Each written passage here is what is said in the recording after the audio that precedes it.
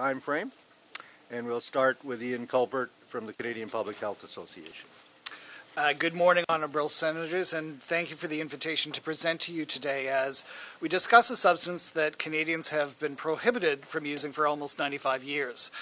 According to historians, cannabis was criminalized in Canada long before it was defined as a social problem.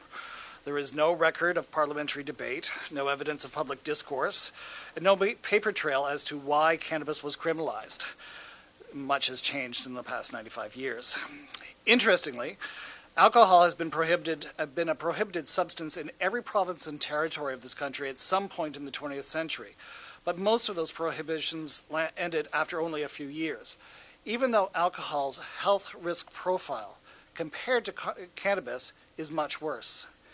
The worst possible health risk profile, of course, is that of tobacco, a product that has never been prohibited. On behalf of the Canadian Public Health Association, I am encouraged and encouraged that the Government of Canada is committed to a public health approach to the legalization and regulation of cannabis, as is demonstrated in Bill C-45.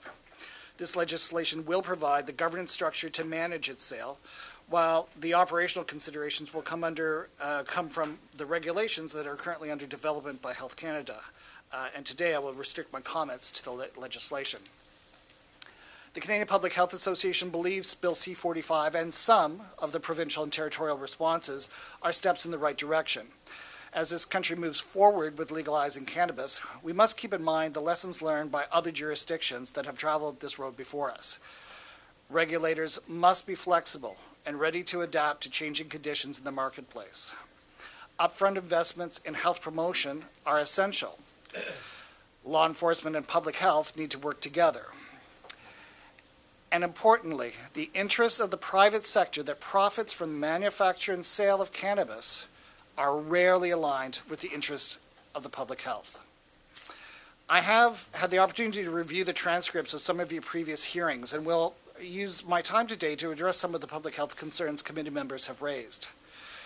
You have heard that the country is not ready for legalization. Unfortunately, we do not have the luxury of time, as Canadians are already consuming cannabis and the individual and societal harms associated with cannabis are already being felt every day. We need this legislation now to help minimize those harms and protect the well-being of Canadians. You have heard concerns about the legal age of 18 for the consumption of cannabis.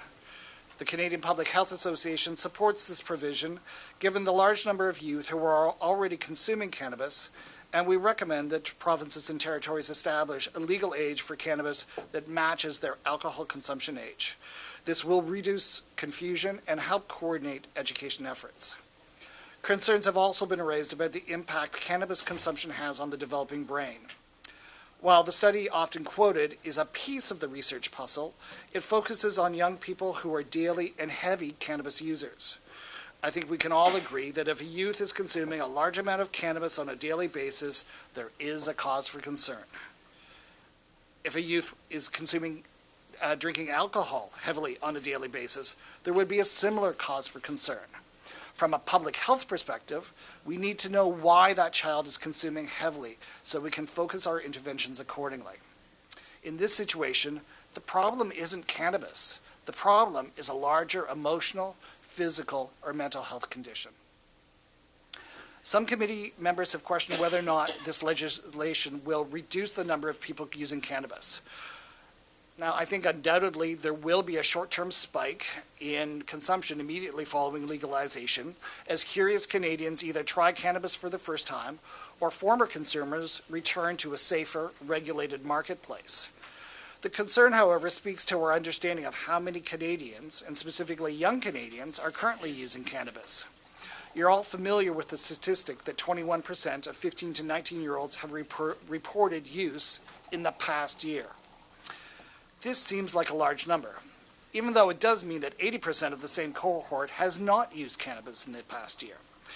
The statistic is a national figure, and it is the best one we have. However, a study of Ontario students done by the Centre for Addiction and Mental Health found that only 1% of students in grades 7 to 12 reported using cannabis daily in the past month. Only 1%. Now, I'm very concerned about that 1% because they are most likely facing some kind of trauma, the pain of which they are trying to numb with cannabis. This is where our attention should be focused. Canadian Public Health Association supports the current leg- legislation because legalizing cannabis will facilitate harm reduction initiatives that prioritize efforts to minimize the harms associated with consuming cannabis. Harm reduction could include in providing a, a product of known potency and quality, uh, providing effective health promotion activities, education about safer consumption methods, and promoting the lower risk cannabis use guidelines. An important element of those lower risk cannabis use guidelines is, is the recommendation to avoid smoking cannabis and use al- alternate delivery methods such as vaping or edibles. Of the two, vaping is preferred as edibles have their own unique risks. It is unfortunate that the current legislation doesn't deal with either of these alternatives, but the one year delay in regulations for these products is both reasonable and understandable. Concerns have been raised about home the home cultivation provision in the legislation. The fact is, Canadians have the right to grow their own tobacco and produce their own alcohol in their homes. As such, there is precedent that would make the prohibition of home cannabis cultivation susceptible to a court challenge. Furthermore, growing tobacco and producing alcohol at home carry comparable risks to growing cannabis at home, yet we do not have an epidemic of child poisonings or other negative outcomes. Law enforcement agencies suggest they are not ready for legalization. I should say some law enforcement agencies, uh, particularly with regard to uh, driving under the influence. Given that a large number of Canadians are already consuming cannabis illegally, it is reasonable to, to assume that some of them, hopefully a small minority, are driving under the influence. If we aren't seeing a raft of cannabis related collisions today, we most likely we will not see that happen post legalization either. If legalization is delayed, then the important health promotion and education work that almost all of your witnesses have recommended is delayed as well. Health and social service practitioners cannot counsel Canadians on lower risk cannabis consumption techniques if the consumption of cannabis remains illegal.